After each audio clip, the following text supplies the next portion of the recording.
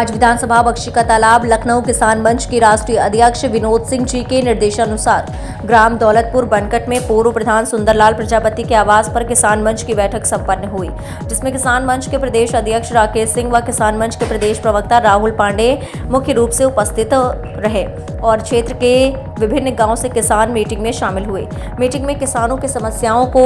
लेकर चर्चा हुई और किसान की हक की लड़ाई लड़ने की बात हुई और प्रदेश प्रवक्ता राहुल पांडे ने कहा कि मैं किसान मंच द्वारा पूर्ण रूप से किसानों के हक की लड़ाई लड़ी जाएगी और किसानों को समय समय पर उनका हक